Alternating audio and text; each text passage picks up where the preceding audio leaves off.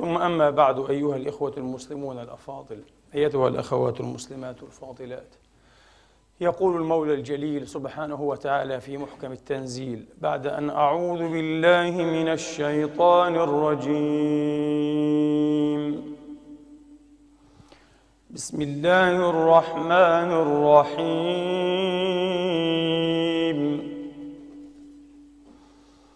تبارك الذي نزل الفرقان على عبده ليكون للعالمين نذيرا. الذي له ملك السماوات والأرض ولم يتخذ ولدا ولم يكن له شريك في وخلق كل شيء فقدره تقديرا.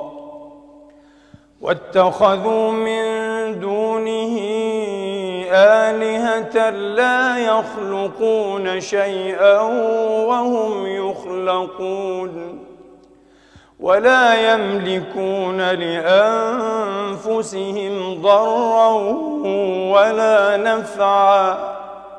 ولا يملكون موتا ولا حياة ولا نشورا.